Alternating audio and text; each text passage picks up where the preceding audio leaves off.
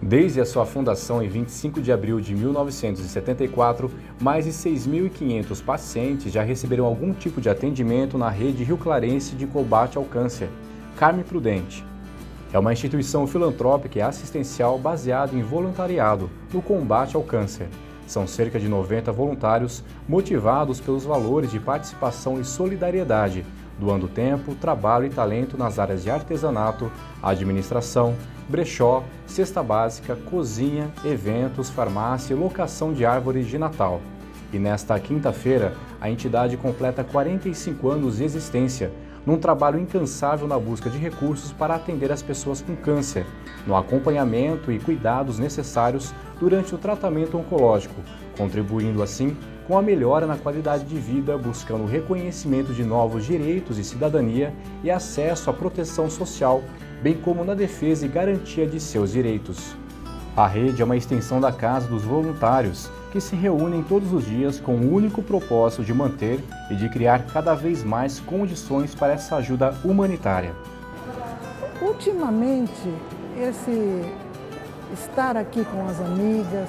ver que nós somos um grão de areia, ver que nós somos o nozinho da rede,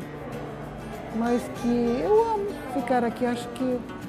podendo ajudar, essa é uma forma. A rede não recebe verbas de nenhum órgão público, ela se mantém exclusivamente de doações da comunidade de empresários, do trabalho em várias frentes do voluntariado, da doação dos sócios contribuintes e também de eventos. A sociedade civil ela tem que ter a consciência de que ela faz a mudança, ela faz a pressão necessária no seu trabalho de perseverar numa meta que é nobre, que é digna, ela vai promovendo mudanças e pressionando o poder público e quem quer que se apresente para que tenha um olhar mais inclusivo, um olhar mais inteligente, sabendo que prevenção, que bom atendimento evita gastos, inclusive maiores, para o poder público. Ser solidário é uma dádiva. Qualquer tempo disponível e com o desejo de participar e ajudar é o que você precisa ser e ter para contribuir com o trabalho da rede de combate ao câncer. É, Rio Claro ainda não descobriu a rede direito. Tem muita coisa que eu acho necessária que isso seja passado para que as pessoas conheçam essa rede de combate ao câncer, que luta bravamente contra